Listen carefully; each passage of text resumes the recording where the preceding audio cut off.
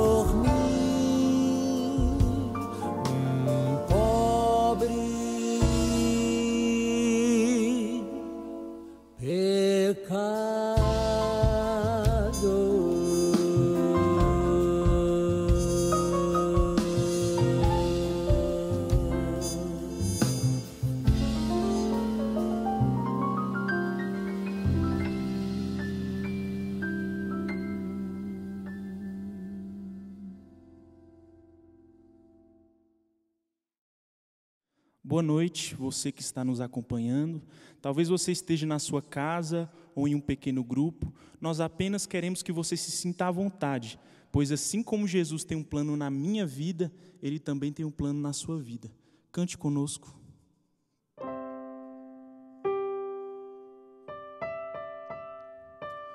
No deserto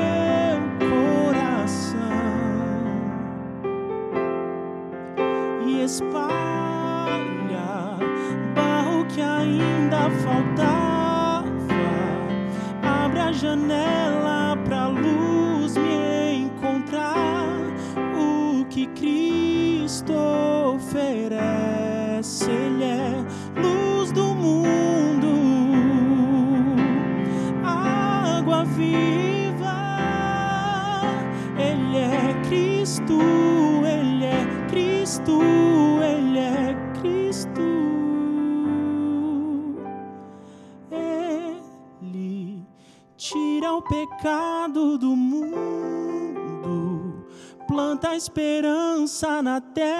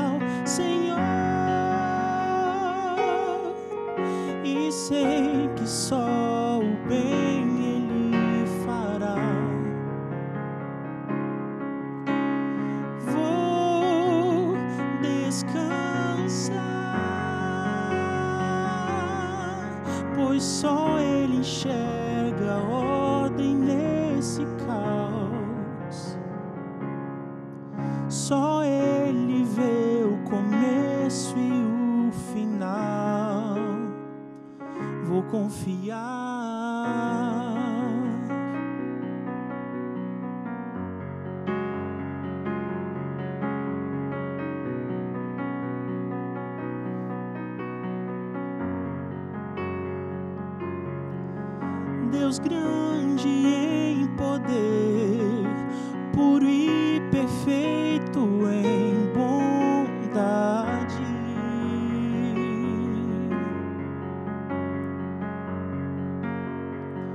Com tua destra tu sustentas,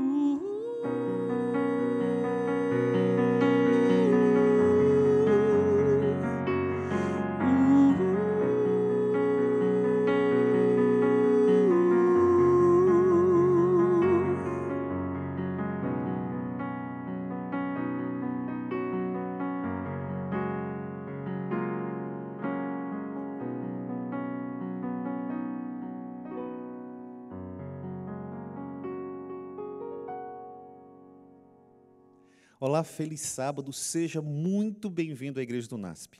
Eu sou o pastor Binho Oliveira e hoje eu tenho o privilégio de apresentar alguém muito especial em uma série nova de três sextas-feiras, onde o pastor Henrique, que é o líder espiritual para todo o Tricamp, nosso pró-reitor de desenvolvimento espiritual, vai estar trazendo a mensagem para a gente. Se você está assistindo, você que é aluno, está no externato, você que é aluno que está na sua casa, em um outro estado, ou aqui mesmo na região do NASP, eu quero lhe convidar a não perder nenhuma noite. Se você é membro dessa comunidade ou não assiste aqui como aluno, eu quero te convidar também a assistir cada noite nessa sequência de três temas, porque a gente vai falar sobre plano de carreira. Esse é o tema da série, plano de carreira, e cada noite um tema especial, um tema diferente, que vai nos ajudar a mirar naquilo que é o mais importante. Para mim é um privilégio tê-lo, já que ele é meu líder na área espiritual aqui no campus, e a gente vai poder aproveitar esses momentos com ele que com certeza vão fazer diferença na minha vida e vão fazer diferença na sua vida. Então se acomoda no sofá, se acomoda aí no seu quarto, onde você estiver assistindo este culto, prepara o seu espírito, porque vai ser muito bom. Sem mais demoras, eu quero convidar meu amigo, pastor Henrique, para nos dirigir, para começar essa série tão importante e tão marcante. Pastor, Deus te abençoe. Muito obrigado, Pastor Binho, pela carinhosa apresentação. Uma boa noite a você, um feliz sábado. É uma alegria muito grande estar unido com vocês nesse momento. E aquilo que nos une não são os aparelhos eletrônicos, as câmeras, mas é a presença de Deus que está aqui comigo e está com você também nesse momento. Iniciamos hoje, como foi falado pelo pastor Binho, uma nova série com o tema Plano de Carreira. Durante as próximas três sextas, vamos estar refletindo dentro desse tema. O título de hoje: Existe uma proposta. Quando pensamos em plano de carreira, logo pensamos em dois tipos de planos. Aquele plano que uma empresa, uma organização, uma instituição oferece para a gente, com benefícios, propostas. E também imaginamos aquele plano de carreira que nós mesmos fazemos. Talvez você esteja na fase ainda de construir o seu plano de carreira, está pensando o que você vai fazer depois da faculdade, aonde você quer atuar, aquilo que você quer se especializar. Mas eu quero refletir com você num terceiro tipo de plano de carreira. Uma proposta que está em cima da mesa, para mim e para você. Durante o meu ministério, eu tenho aprendido a conviver com os mais diferentes tipos de pessoas. Nos últimos anos, trabalhei na capital de São Paulo e ali tive a experiência de estar em um dia com um dos grandes empresários da cidade, na casa dele, conversando com a sua família, pedido de amigos da igreja.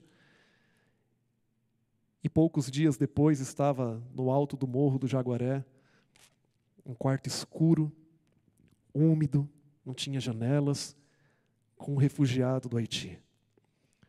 E transitar entre esses dois polos da sociedade tem me ensinado bastante e tem sido uma grande lição de vida para mim.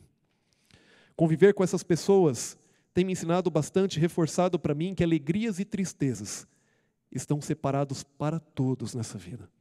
Independente da classe social, econômica, cultural, religiosa ou qualquer outra classe que você queira colocar. Todos nós vivemos em meio a um grande conflito. Todos nós vivemos em meio a um mundo onde temos acertos e erros, vitórias e derrotas. E diante dessa montanha russa que muitas vezes nós vivemos, podemos ser levados a fazer perguntas erradas e a ter uma má compreensão daquilo que deve representar os nossos dias aqui nessa terra. Podemos ser levados a pensar: por que parece que a vida do outro é mais fácil? Por que parece que aquela pessoa tem menos dificuldades? Por que parece que aquela pessoa sofre mais do que as outras. E, fala a verdade, não parece que algumas pessoas sofrem mais do que as outras? Porque parece que é tão desigual? Porque parece que a vida dos outros é mais fácil? Por que, que parece que para os outros parece que a vida vai sendo levada e tudo bem, para mim é tão difícil? E assim vamos avaliando a nossa vida com base naquilo que nós conhecemos da vida de outras pessoas. Mas essa noite eu quero levar você a um texto da Bíblia que nos ajuda a corrigir a nossa visão e alinhar e nos mostrar um plano para a nossa existência aqui nesse mundo. Eu quero ver dentro da Bíblia com você uma proposta existente. Talvez para alguém, uma proposta diferente daquela que tem vivido até hoje. Eu quero te convidar a abrir a sua Bíblia na carta aos Hebreus, capítulo 12, verso 1 até o verso 3. A nossa reflexão hoje é baseada apenas em três versos. Hebreus, capítulo 12, verso 1 ao verso 3. Esse é um texto precioso da Bíblia. É um texto que nos ajuda a corrigir a nossa visão em relação à vida, ao mundo, à nossa existência e aquilo que devemos fazer nesse mundo. Esse texto, em alguns momentos, ele pode funcionar como um antídoto, uma vacina. Talvez para algum momento que a nossa fé comece a ser abalada. Eu quero refletir nesse texto com você. Hebreus capítulo 12, verso 1 a 3. Repetir três vezes já para dar tempo de você pegar a sua Bíblia e abrir. Já pegou? Está com a sua Bíblia em mãos? Vou repetir mais uma vez então. Hebreus capítulo 12, verso 1 a 3. E antes de ler esse texto, quero convidar você, independente de onde esteja, a manter agora uma atitude de oração para falarmos com Deus. Senhor Deus, te agradecemos e te louvamos pela vida. Te agradecemos por mais um sábado que chegou e pela oportunidade que temos nesse momento de abrirmos a palavra e nos conectarmos com a mente do Senhor, do Criador e Salvador. Pai, nesse momento peço que o Senhor transforme uma mensagem humana, com falhas, em uma mensagem poderosa através do Teu Santo Espírito. Que cada palavra ao sair da minha boca possa ser transformada, corrigida, personalizada, adaptada, para que chegue em cada coração como o Senhor quer. Abençoe cada um que está aqui trabalhando nessa transmissão, todas as pessoas que estão envolvidas. Abençoe cada um que está ou recebendo e ouvindo essa mensagem nesse momento. Fale ao nosso coração. Pedimos em nome de Jesus. Amém, Senhor. Hebreus capítulo 12, verso 1 a 3 diz assim: Portanto, também nós, visto que temos a rodear-nos tão grande nuvem de testemunhas, desembaraçando-nos de todo peso e de todo pecado que tenazmente nos assedia, corramos com perseverança a carreira que nos está proposta, olhando firmemente para o Autor e Consumador da fé, Jesus o qual, em troca da alegria que lhe estava proposta, suportou a cruz, não fazendo caso da ignomínia que representa grande humilhação, vergonha, e está sentado à destra do trono de Deus. Considerai, pois, atentamente aquele que suportou tamanha oposição dos pecadores contra si mesmo, para que não vos fadigueis, desmaiando em vossa alma. Eu peço que você mantenha a sua Bíblia aberta. Uma leitura superficial, a gente não conseguiria extrair tudo o que existe dentro desse texto. Eu quero me aprofundar um pouquinho nele contigo. O capítulo 12 de Hebreus começa com a palavra portanto. A palavra portanto, ela indica a continuidade de um raciocínio, de uma ideia. Nos dá a entender de que alguém falou, falou, falou, falou e chegou a um ponto e disse, portanto, e ela vai ali concluir, ela vai fechar uma ideia e um raciocínio. Você sabe que quando a Bíblia foi escrita, ela não era separada em capítulos e versículos. A primeira divisão veio no século VI. A segunda que nós temos hoje, divisão entre capítulos e versículos, no século XVI. Era um texto corrido. Quando Hebreus capítulo 12 começa com a palavra portanto, nós podemos compreender que nada mais é do que uma continuação perfeita do capítulo 11 de Hebreus. O que, que nós encontramos no capítulo 11 de Hebreus? um breve resumo sobre a natureza da fé. E a maior parte do capítulo 11 de Hebreus destaca a galeria dos heróis da fé. O capítulo 12 começa então, depois do capítulo 11, a apresentar a galeria dos heróis da fé. O capítulo 12 começa dizendo: Portanto, também nós, tendo a rodear-nos tão grande nuvem de testemunhas, na literatura grega, essa expressão nuvem de testemunhas representa grupo de pessoas. Se o capítulo 12 nada mais é do que a continuação perfeita do capítulo 11, quem é esse grupo de pessoas? Os heróis da fé. Ali nós encontramos Moisés, o maior líder que o povo de Israel teve, mas o mesmo Moisés, que também foi um medroso e um assassino. Ali nós encontramos Abraão, o pai da fé, mas o mesmo Abraão que também teve medo ao descer para o Egito, mentiu que Sarai era sua, não era sua esposa. E o mesmo Abraão que cometeu um adultério em busca do filho da promessa. Ali nós encontramos Raabe, que foi da linhagem de Jesus. Mas todos nós sabemos qual era a sua antiga profissão. Ali encontramos Davi, o homem segundo o coração de Deus, mas o mesmo Davi, que além de um adultério, acumulou um assassinato na sua ficha. A Bíblia não esconde os erros dos seus maiores heróis. A Bíblia não tenta jogar debaixo do tapete as falhas dos grandes homens e das grandes mulheres por um motivo muito especial. Para num momento como esse, poder dizer para mim e para você, portanto, nós também Corramos com perseverança a carreira que nos está proposta. Portanto, você também que é humano, que tem falhas, você que é homem, você que é mulher, que também tem as suas dificuldades e falhas, também corra a carreira que existe proposta para você, porque assim como tem uma carreira proposta para Moisés, tem uma carreira proposta para você. Assim como existiu uma carreira proposta para Raabe, para Davi, existe uma carreira proposta para você. Assim como existiu uma carreira proposta para Abraão, existe uma carreira proposta para você. Existe uma proposta que está diante de você, de Deus. para você. Apesar de existir uma carreira proposta para cada um de nós, uma carreira personalizada, com seu jeitinho, individual. Ela é individual no aspecto de ser personalizada para você. Mas ela te leva a viver com outras pessoas. Ela te leva a ter um objetivo em comum com outras pessoas. E tem alguns aspectos que são semelhantes dentro de cada carreira. Eu quero destacar aqui nesse momento três aspectos que são semelhantes dentro das carreiras. Primeiro aspecto, devemos ter uma inspiração.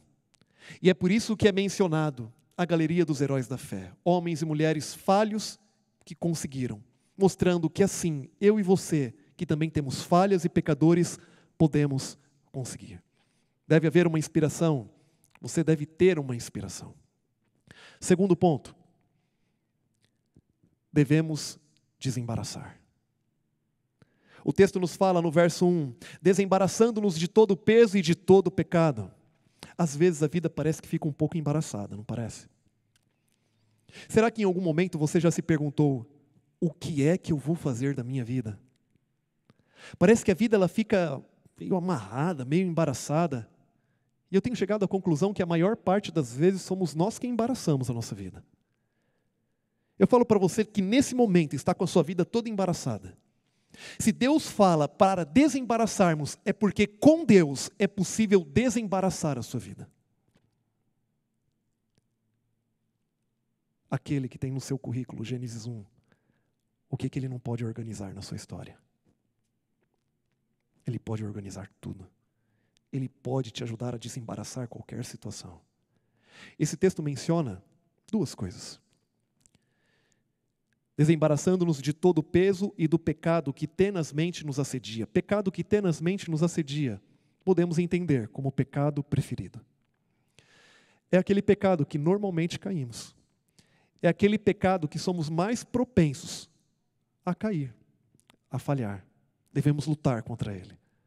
Devemos nos desembaraçar dele, porque às vezes parece que ele nos agarra, não é verdade? Se o texto fala para desembaraçar, é porque com Deus é possível desembaraçar. E devemos lutar contra ele. Ellen White diz no livro Caminho a Cristo: Não deixe para depois a decisão de abandonar seus pecados e buscar pureza de coração através de Jesus. Não deixe para depois. É nesse ponto que milhares têm errado e se perderão para sempre.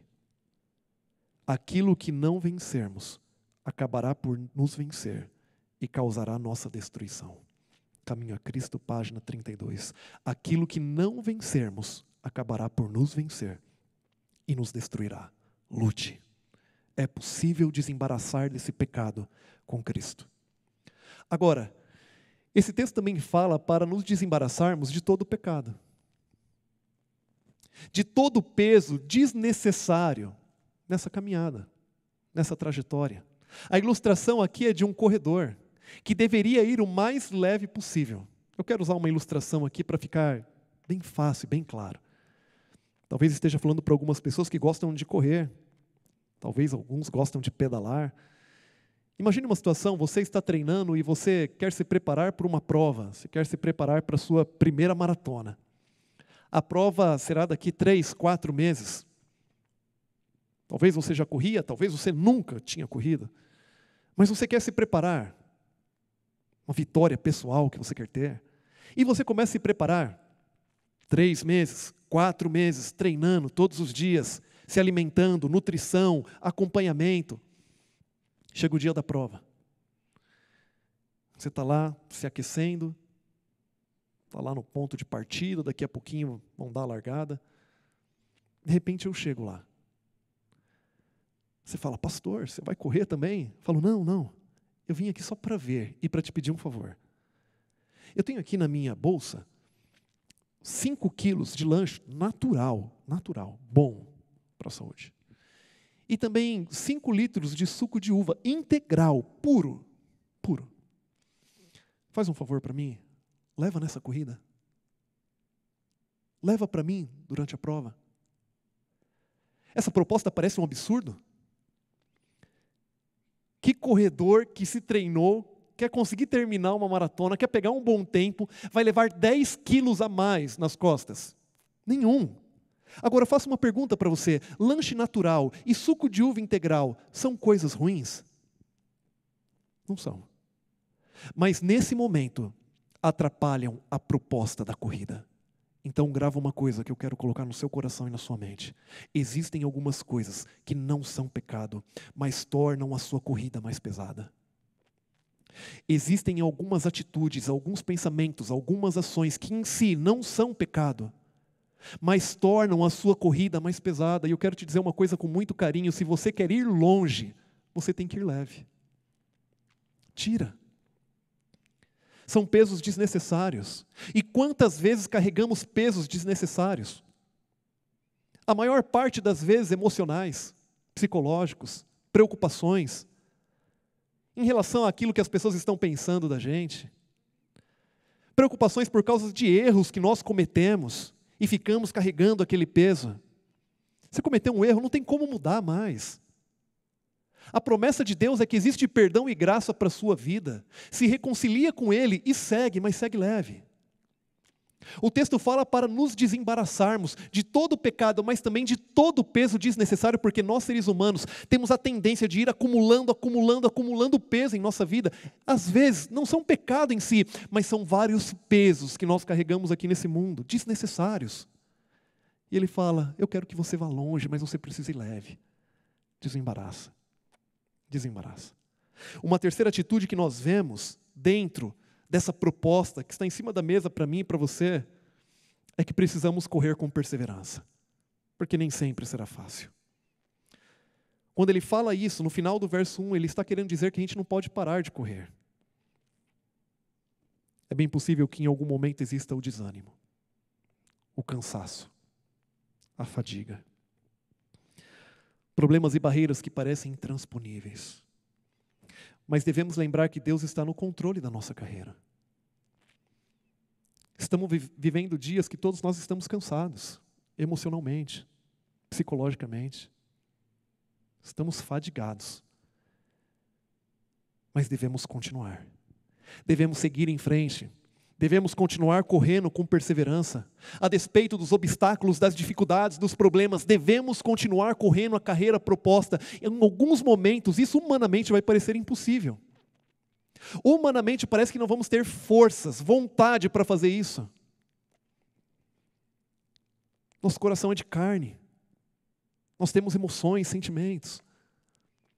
Eu lembro, na última conferência geral, em um dos dias, nas reflexões, eu ouvi aquilo que um historiador falou sobre o naufrágio do Titanic.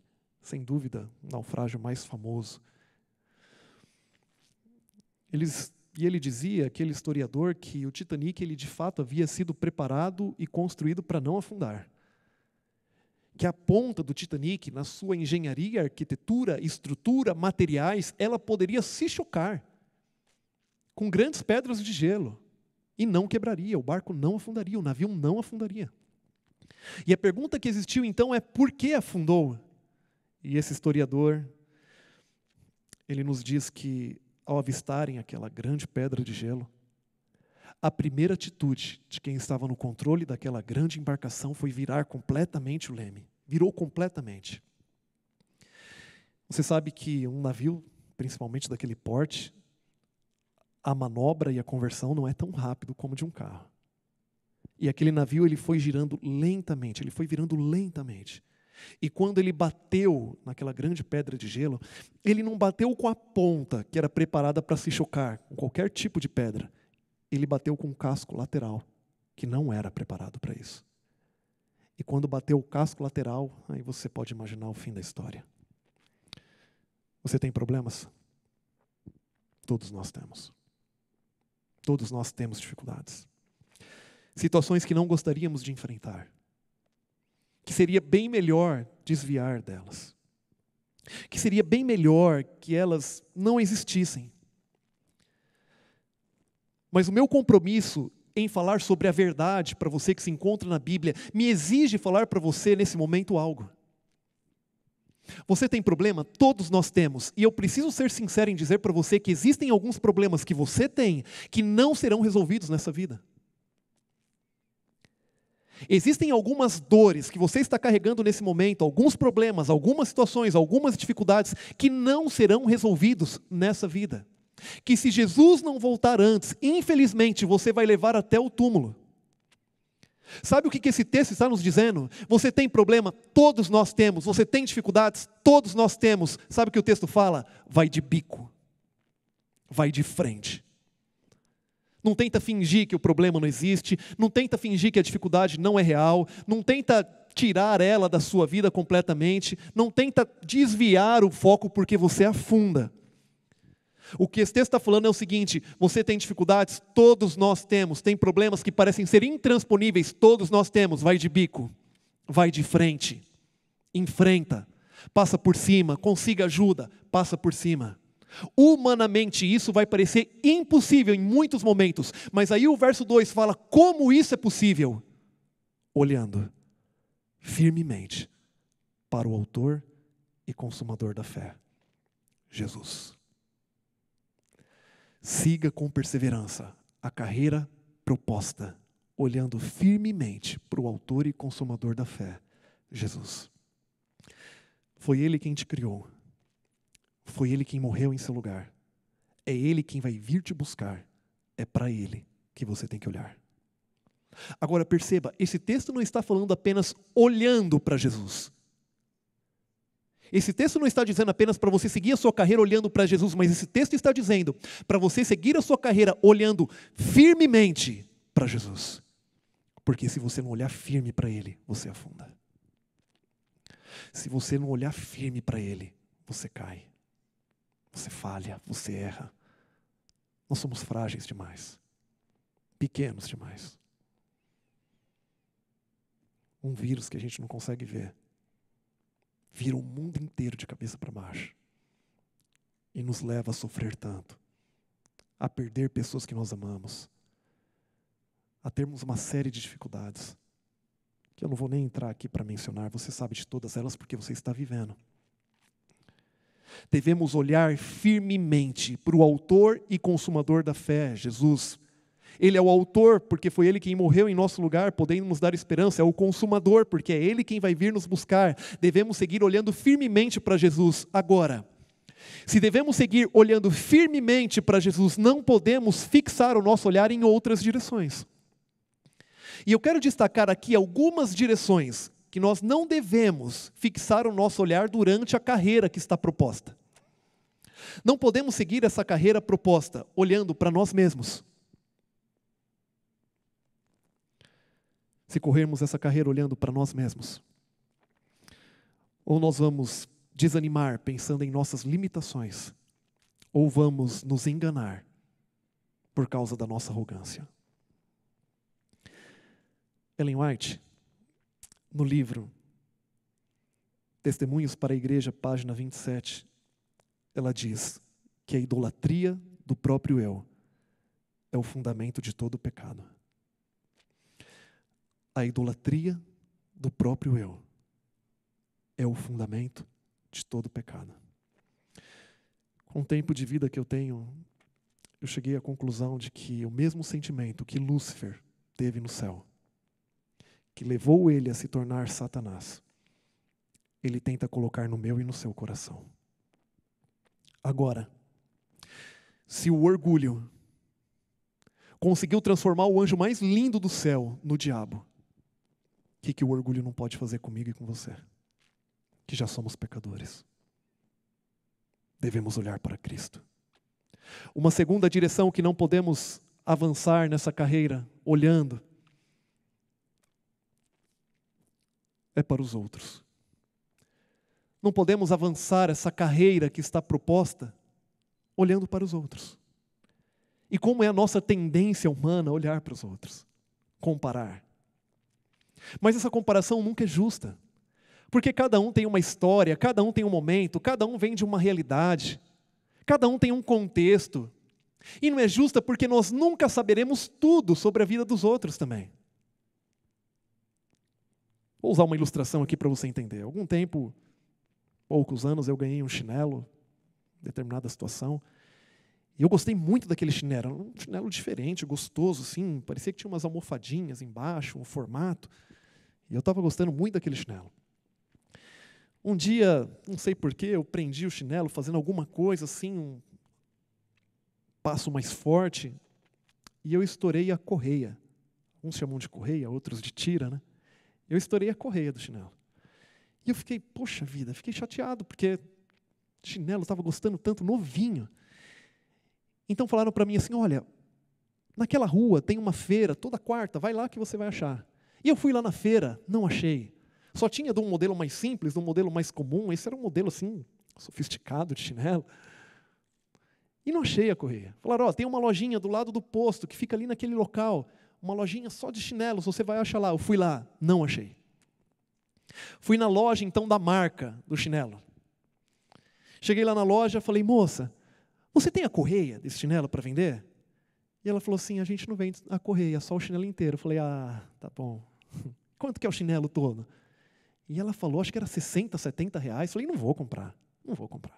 Meu chinelo está novinho. Cheguei em casa, um pouco frustrado após a minha tentativa. Eu tenho uma esposa, ela é linda, a Priscila. Ela é jornalista, muito inteligente, me dá muitos conselhos. E aquele dia ela me deu mais um dos seus brilhantes conselhos. Ela falou assim: Meu amor, por que, que você não coloca um preguinho debaixo do chinelo? Eu falei: Meu amor, como é que eu não havia pensado nisso? Você já colocou um preguinho debaixo do chinelo?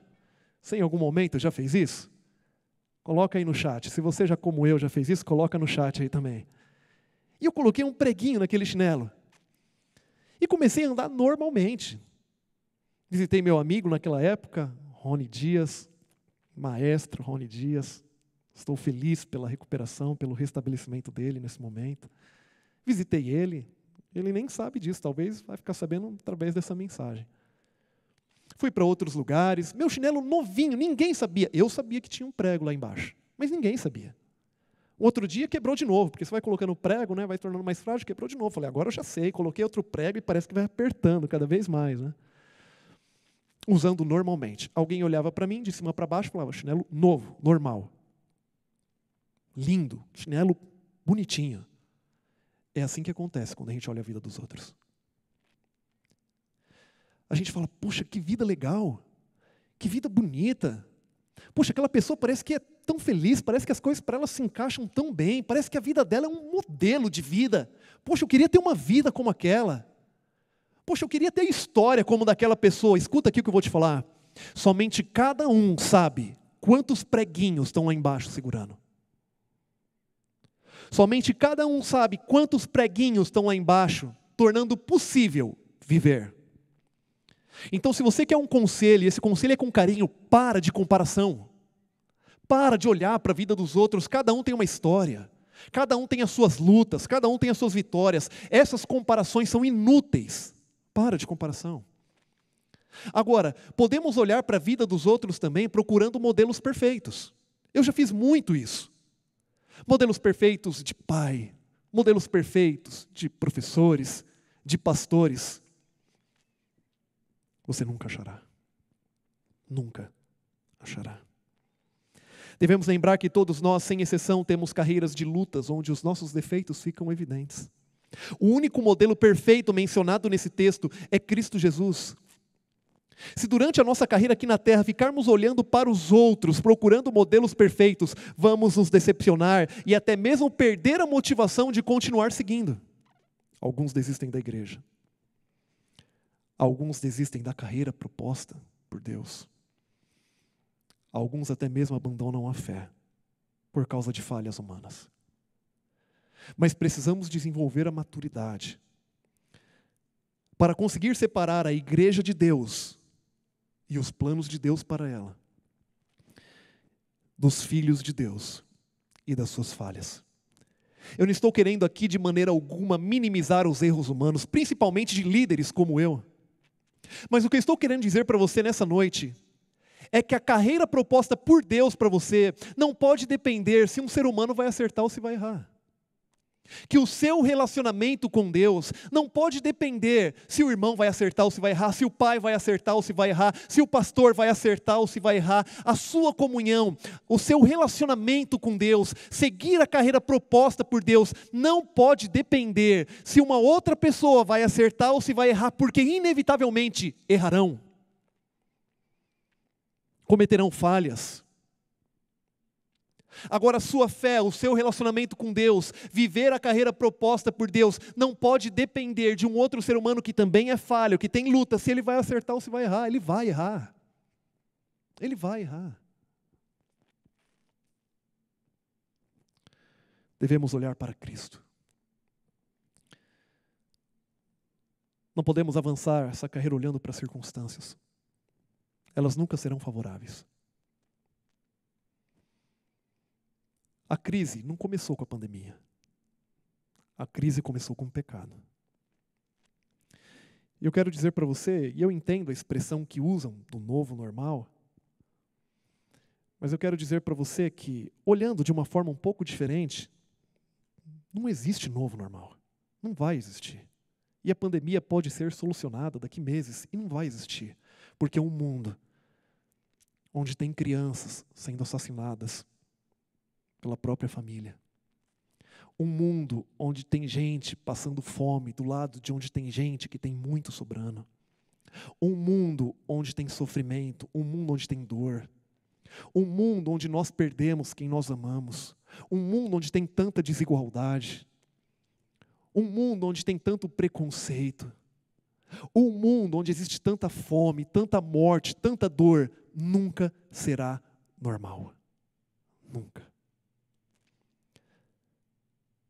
Podemos vencer essa crise? Virão outras, tenha certeza. E de crise em crise, devemos avançar para nos encontrar com Cristo. As circunstâncias nunca serão favoráveis, não espere. Não espere circunstâncias favoráveis para seguir a Deus. Não espere circunstâncias favoráveis para se aproximar de Deus e entregar a sua vida para Ele, porque nesse mundo nunca haverão circunstâncias favoráveis porque esse mundo está contaminado pelo pecado, um vírus muito mais poderoso do que a Covid-19. É o pecado.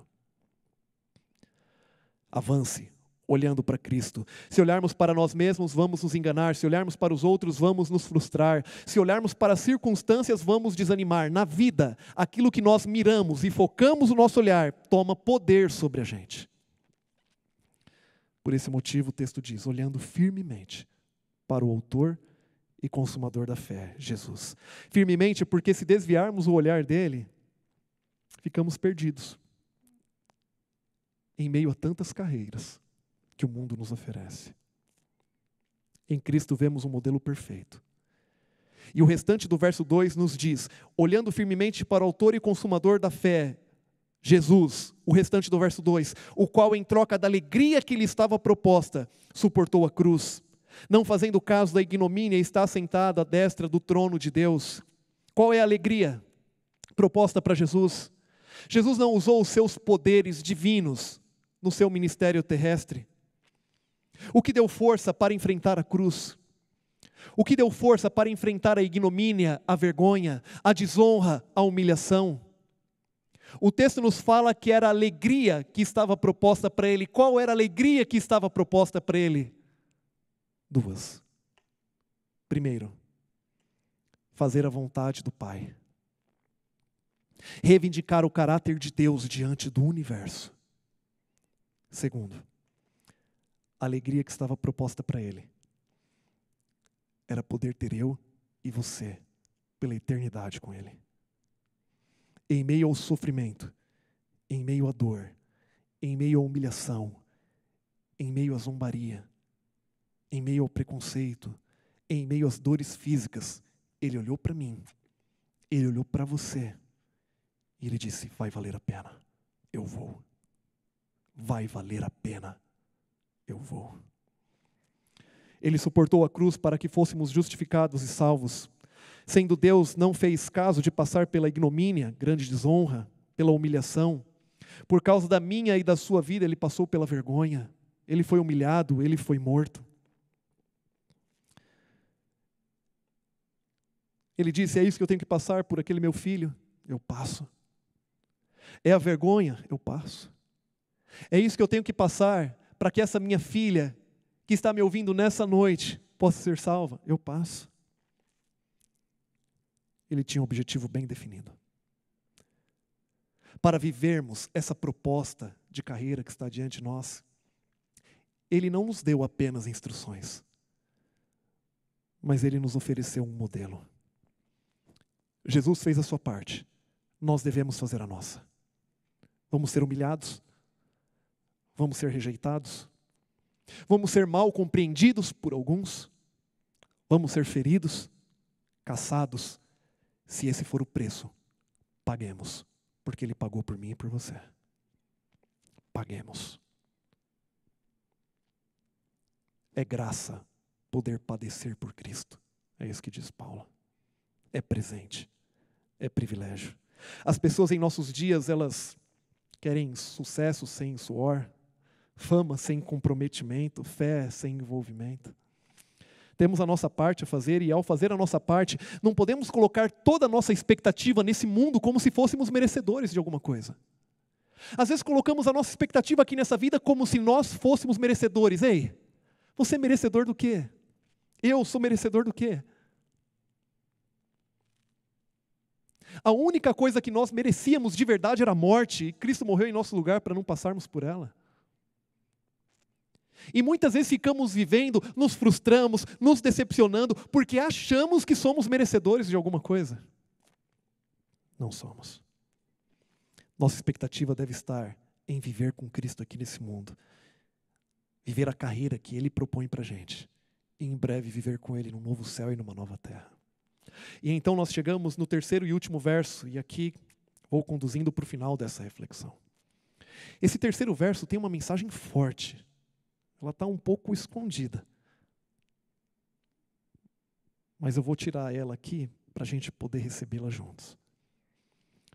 Verso 3: Considerai, pois, atentamente aquele que suportou tamanha oposição dos pecadores contra si mesmo, para que não vos fadigueis desmaiando em vossa própria alma. O que nós vemos em nossos dias, muitas pessoas fadigando e desmaiando em sua própria alma. O que, que o texto está falando? Considerai, pois, aquele que passou por tantos sofrimentos, porque se você ficar considerando apenas a sua vida, os seus problemas, as suas dificuldades, você vai desmaiar, você vai se fadigar em sua própria alma. O que esse texto no verso 3 está dizendo é o seguinte: para de ficar considerando apenas as suas dificuldades, apenas os seus problemas, as suas dores, e passa a considerar alguém que passou por algo muito pior do que você, Cristo Jesus. E quando consideramos aquilo que Cristo Jesus passou por nós, as nossas dificuldades, nós vemos ela de uma outra maneira. O que esse texto está falando é para nós pararmos de centralizarmos e de focarmos apenas nas nossas dificuldades. No reino de Deus não existem coitados. No reino de Deus não existem vítimas, mas existem seres humanos que existem e estão no mundo de pecado e que sofrem, sim, têm problemas, mas tem um Salvador que propõe uma carreira que propõe uma solução, que está ao lado para fortalecer, para ajudar, para ser contigo. Não existem vítimas e coitados no, no, reino de Deus. Existem filhos que estão sofrendo, mas que têm uma mão estendida, oferecendo ajuda, oferecendo uma proposta de carreira diferente. O que esse texto está falando é para a gente olhar o mais importante. Quando eu falo de olhar para o mais importante, eu lembro quando eu estudava teologia aqui no campus Engenheiro Coelho, e aqui conheci minha Priscila, já minha, minha esposa Priscila, que é a minha Priscila. E conheci ela aqui no segundo ano de teologia. E aqui começamos o um namoro e depois noivamos e casamos. Sabe qual foi o primeiro presente que a Priscila me deu? O primeiro presente que a Priscila me deu foi um terno e uma gravata terno azul, uma gravata vermelha, lindo. Guardo até hoje. E ainda entro dentro dele, já tem já mais de 10 anos. 10 anos? É, deve ter uns 13, 14 anos por aí. E fiquei impressionado, né? E ela me deu aquele terno, aquela gravata, não porque estava sobrando dinheiro. Ela trabalhava como estagiária, acho que em Cosmópolis, aqui perto, ganhava pouquinho. Juntou ali uns três meses de salário. Me deu um terno e uma gravata. Depois de algum tempo eu descobri por que ela me deu um terno e uma gravata. Já mais para frente no relacionamento, né? Ela falou assim: "Olha, meu amor, de roupa esportiva você entendia bem, mas social era fraco, viu? E ela falou assim que diante daquela situação, ela me viu ali com aquela dificuldade na roupa, tal, social, e ela pensou o seguinte: isso é o mais fácil de resolver. Isso é o mais fácil de resolver. E abrindo uma pequena janela, eu fico pensando que menina é essa, numa geração tão materialista, tão visual. Olha para um rapaz e vê ali uma dificuldade na roupa e fala: Isso é o mais fácil de resolver. E de fato é. Isso é o mais fácil de resolver. Você tem problemas? Todos nós temos. Olha aqui para mim. Quais são os seus piores problemas? O que é que mais te fere? O que é que mais te machuca? É um problema físico? Emocional? São dificuldades financeiras? É um problema espiritual? É a separação de alguém que você ama muito, que já descansou? É uma doença degenerativa? O que é que mais te machuca? O que é que mais faz, te, faz você sofrer nesse mundo? Escuta o que eu vou te falar nessa noite. Isso para Deus é o mais fácil de resolver. Recursos para quem está precisando, cura física e até mesmo a separação com aqueles que já descansaram através do despertar na vinda de Cristo, isso para ele é o mais fácil de resolver. Por que, que Abraão venceu? Porque olhou para Cristo. Por que, que Moisés venceu? Porque olhou para Cristo. Abrir um mar vermelho, dar um filho a um homem de 100 anos, isso para Deus foi o mais fácil de resolver. E se nós olharmos para Cristo, se nós aceitarmos essa proposta que está diante de nós, as dificuldades, os problemas que nós temos aqui nesse mundo, isso para Deus é o mais fácil de resolver. Sabe por que, que existe a galeria da, do, dos heróis da fé aqui na Bíblia? No capítulo 11. A galeria dos heróis da fé não é uma homenagem, um quadro para esses homens e mulheres. A galeria dos heróis da fé está no capítulo 11, para depois de passarmos pela galeria dos heróis da fé no capítulo 12, ele dizer para a gente, portanto, também nós, desembaraçando-os de todo o pecado, de todo o peso que tenazmente nos assedia, existe uma carreira proposta para você. Siga com perseverança a carreira que existe proposta para você. Ele nos coloca lado a lado com os heróis da fé, pastor. Não é muito. É a própria Bíblia que faz. Quando nós olhamos os últimos versos do capítulo 11 da Galeria dos Heróis da Fé, verso 39 e 40, diz assim: Ora, todos esses que obtiveram bom testemunho por sua fé não obtiveram, contudo, a concretização da promessa, por haver Deus provido coisa superior a nosso respeito, para que eles, os heróis da fé, sem nós, não fossem aperfeiçoados.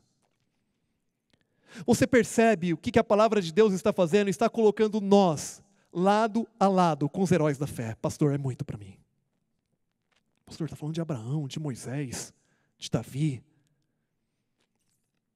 Deus está à procura de novos heróis da fé desse tempo. E Ele nos coloca lado a lado com esses grandes homens que tiveram grandes falhas, mas tiveram a vida transformada por Deus. Pastor, você está achando que é muito ainda, né? Sabe esse livro? A Bíblia. Eu amo esse livro.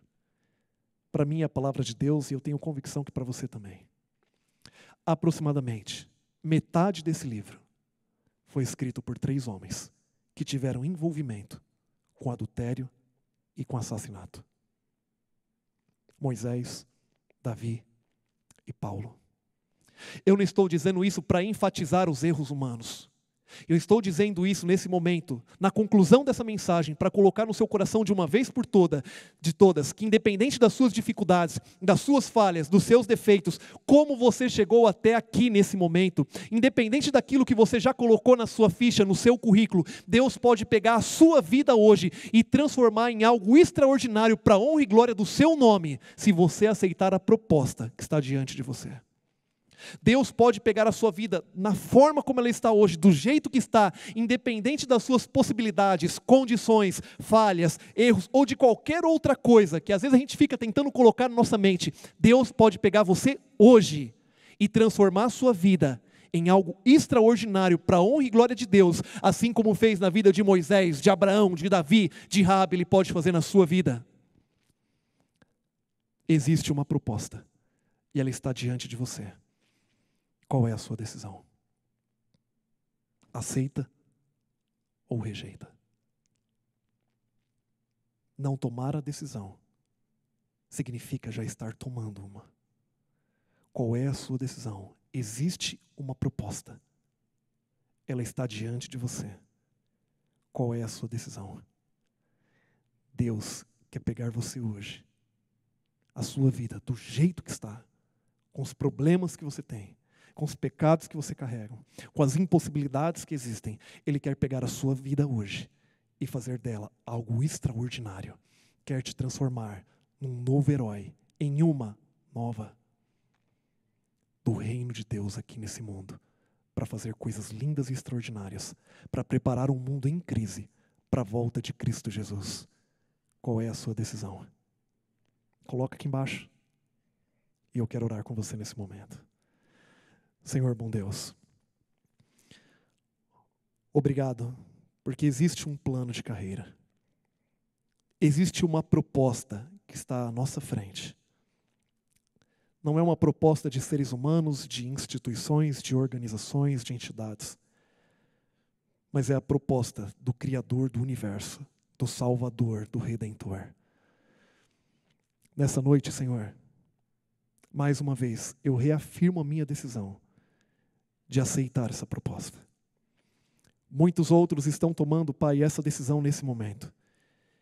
E eu peço, Pai, que o Senhor pegue cada uma dessas vidas, cada um que tomou essa decisão, independente das condições que se encontra hoje, e que o Senhor supra suas reais necessidades, que o Senhor transforme aquilo que é necessário ser transformado, e que o Senhor torne, Pai, essa vida em um grande testemunho, Senhor, para o mundo e para o universo, do seu poder de transformação, de restauração da espécie humana, da raça humana. E que essa vida possa ser usada, Pai, para testemunhar que existe um Deus, que existe uma proposta e de que em breve já não estaremos aqui, porque essa proposta nos levará para um novo céu e uma nova terra. Toma a nossa vida em tuas mãos, nos entregamos a Ti, aceitamos a proposta Oramos no doce nome de Jesus. Amém, Senhor. Amém. Que Deus te abençoe.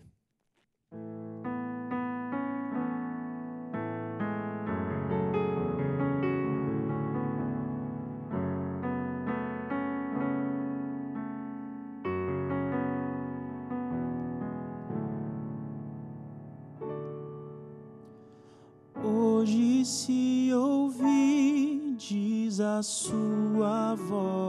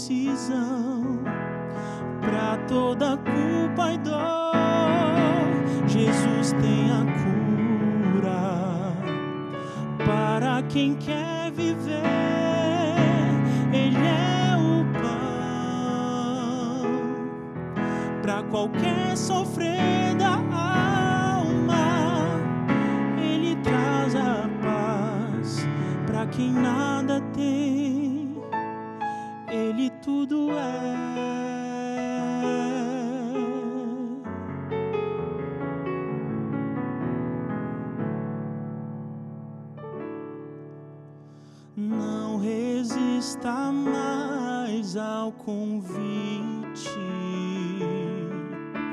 Nos braços de Jesus cabemos todos nós.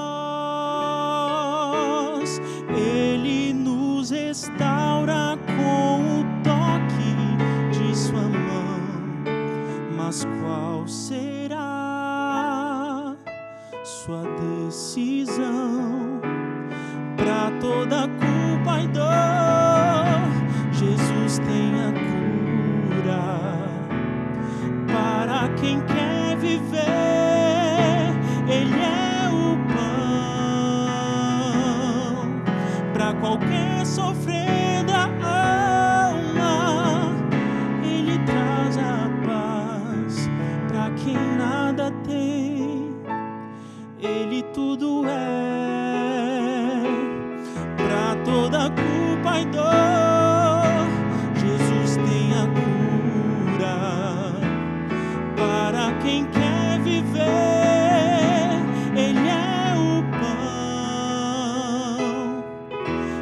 para qualquer sofrenda alma.